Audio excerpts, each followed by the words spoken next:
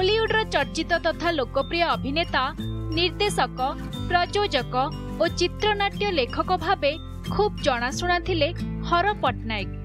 ସେ ଶତାଧିକ ଚଳଚ୍ଚିତ୍ରରେ ଅଭିନୟ କରିବା ସହ କୋଡ଼ିଏରୁ ଅଧିକ ଚଳଚ୍ଚିତ୍ରରେ ନିର୍ଦ୍ଦେଶନା ମଧ୍ୟ ଦେଇଥିଲେ।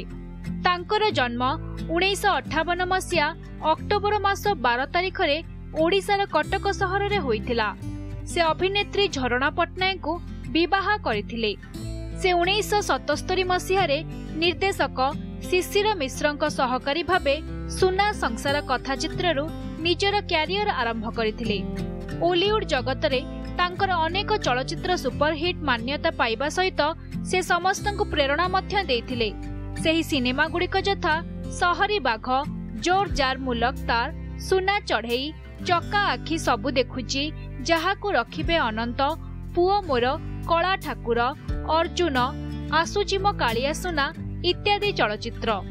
ଜଣେ ସଫଳ ନିର୍ଦ୍ଦେଶକ ଭାବେ ବହୁ ଓଡ଼ିଆ ଚଳଚ୍ଚିତ୍ର ନିର୍ଦ୍ଦେଶନା ଦେଇ ସେ ସାଉଣ୍ଟିଥିଲେ ଦର୍ଶକୀୟ ପ୍ରଶଂସା ଓ ଭଲ ପାଇବା। ସେ ଅଭିନୟ କରିବା ସହିତ ଅନେକ ଚଳଚ୍ଚିତ୍ରରେ ନିର୍ଦ୍ଦେଶନା ମଧ୍ୟ ଦେଇଥିଲେ। ସେହି ଚଳଚ୍ଚିତ୍ର ଗୁଡ଼ିକ ହେଉଛି ପାଗଳ ପ୍ରେମୀ କଳ୍କି ଅବତାର ପୁଅ ମୋର ଭୋଳାଶଙ୍କର ଏବଂ Suhag Sindoor. I love you're superstar ଅନୁଭବଙ୍କୁ ସେ ପ୍ରଥମେ ସୁଯୋଗ ଦେଇଥିଲେ। ମଞ୍ଚ ନାଟକରେ ଅଭିନୟ ଓ ନିର୍ଦ୍ଦେଶନା ଦେଇ ନିଜର ସ୍ୱତନ୍ତ୍ର ଆସନ ସୃଷ୍ଟି କରିଛନ୍ତି। ଦୁଇ ହଜାର ପନ୍ଦର ମସିହା ଜାନୁଆରୀ ତେର ତାରିଖରେ ବରିଷ୍ଠ ଅଭିନେତା ହର ପଟ୍ଟନାୟକ ପରଲୋକ ଗମନ କରିଥିଲେ।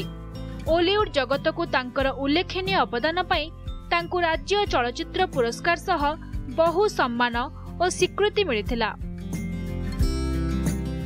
ବରିଷ୍ଠ ଓଲିଉଡ୍ ଅଭିନେତା ହର ପଟ୍ଟନାୟକଙ୍କ ଜନ୍ମତିଥି ଅବସରରେ ପ୍ରଣାମ ଓଡ଼ିଶା ତରଫରୁ ଶ୍ରଦ୍ଧାଞ୍ଜଳି।